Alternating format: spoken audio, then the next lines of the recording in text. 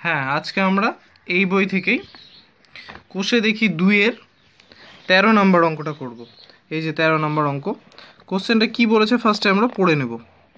কোনো মূলধন একই বার্ষিক শতকরা সরল সুদের হারে সাত বছরে সুদে আসলে সাত হাজার একশো টাকা এবং চার বছরে সুদে আসলে ছ হাজার দুশো টাকা হলে মূলধন ও বার্ষিক শতকরা সরল সুদের হার নির্ণয় করি।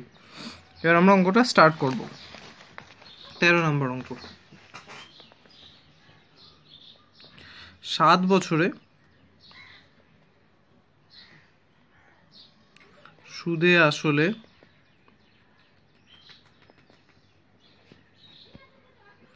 হয়, এখানে বলেছে সাত বছর সুদে আসলে হয় সাত হাজার একশো টাকা। তাহলে আমরা এখানে লিখব সাত হাজার একশো টাকা।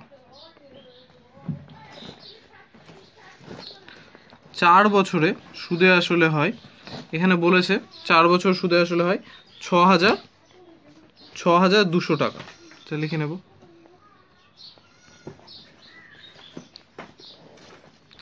এটা আমরা যদি মাইনাস করি, এখানে চার বছরের সুদ প্লাস আসল আছে। আর এখানে আছে, এখানে সাত বছরের সুদ প্লাস আসল আছে। আর এখানে আছে চার বছরের সুদ প্লাস আসল। এবার যদি এটা থেকে আমরা এটা মাইনাস করি, তাহলে আসল আসলটা কেটে যাবে। পড়ে থাকবে তিন বছরের শুধুমাত্র সুদ, আসল নয়। অতএব তিন বছরের সুদ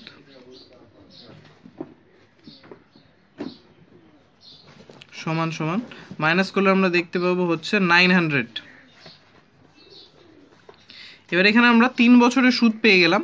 এখানে আমরা এক বছরের সুদ ঐকিক নিয়মের মতো ইউজ করে এক বছরের সুদ পেতেই পারি। এক বছরের সুদ equals to nine hundred divided by three equals to three hundred rupees three hundred টাকা।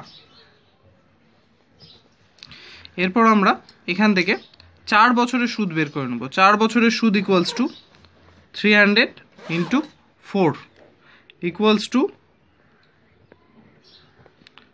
বারোশো টাকা। এবার চার বছরের সুদ যদি বারোশো টাকা এবং সুদ আসল ছ হাজার দুশো টাকা হয়, তাহলে এখান থেকে আমরা খুব সহজে আসলটা পেয়ে যাব। অতএব আসল সমান সমান চার বছরের সুদ আসল বিয়োগ চার বছরের সুদ। অর্থাৎ ছ হাজার দুশো মাইনাস এক হাজার দুশো টাকা। বিয়োগ করলে আমরা পেয়ে যাচ্ছি পাঁচ হাজার টাকা। এখানে কোশ্চেনে দেখলে আমরা দেখব যে এখানে জানতে চেয়েছে যে মূলধন ও বার্ষিক শতকরা সরল সুদের হার। আমরা এখানে মূলধনটা পেয়ে গেলাম। মূলধন যেটা বলেছে পাঁচ হাজার টাকা, সেটা পেয়ে গেলাম। এবার আমাদের উদ্দেশ্য হবে বার্ষিক শতকরা সুদের হার নির্ণয় করো। এখানে আমরা দেখতে পাচ্ছি পাঁচ হাজার টাকা। আমরা পাঁচ হাজার টাকার এক বছরের সুদ পেয়েছি তিনশো টাকা। তাহলে আমরা লিখতে পারি, পাঁচ হাজার টাকার এক বছরের সুদ তিনশো টাকা। আমাদের যদি শতকরা নির্ণয় করতে হয়, তাহলে আমাদের বের করতে হবে যে একশো টাকার এক বছরের সুদ কত হবে? একশো টাকার এক বছরের সুদ হবে তিনশো divided by five thousand into hundred কাটাকাটি করলে জিরো জিরো কেটে দিলাম। এখানে জিরো কেটে দিলে ফাইভ সিক্স আর থার্টি তাহলে ইকুয়ালস টু সিক্স টাকা। তাহলে আমরা এখানে পেয়ে গেলাম, অতএব শতকরা বার্ষিক সুদের হার ছয় পার্সেন্ট তাহলে দুটো উত্তর কি হলো? আসল বা মূলধন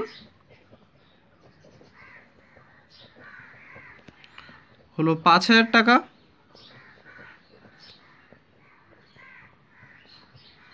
এবং বার্ষিক শতকরা সুদের হার